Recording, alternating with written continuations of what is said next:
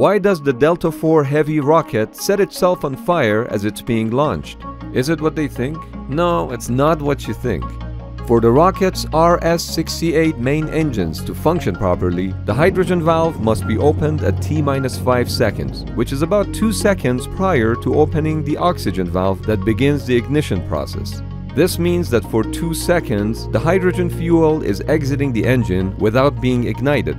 Since hydrogen is lighter than air, it rises and drifts. As the engines reach full thrust, the high-speed exhaust flowing into the flames ducts creates a strong suction of the surrounding air and unburned hydrogen into the launch duct, which burns the hydrogen.